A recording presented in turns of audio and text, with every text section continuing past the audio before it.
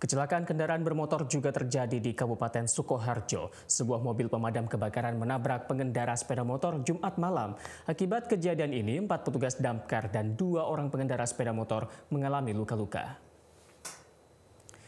Kecelakaan terjadi saat mobil damkar yang ditumpangi empat petugas hendak melakukan pemadaman.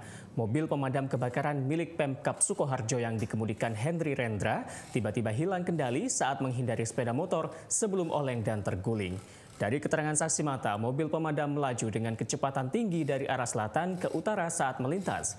Akibat kejadian ini, empat petugas damkar dan dua orang pengemudi sepeda motor mengalami luka-luka.